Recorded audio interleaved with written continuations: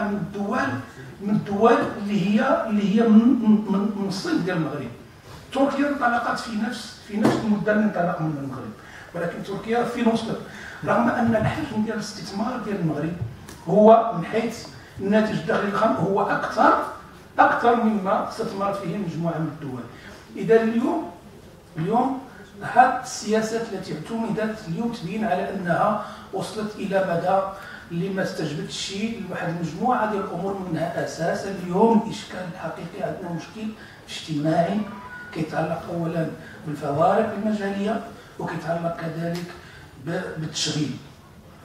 وآخر تقرير ديال البنك آخر تقرير ديال البنك الدولي وهذا أكد واحد الخطاب ديال جلالة الملك اليوم خص خص تكون واحد النوع من من من من, من, من الحق في الولوج الحق اليوم.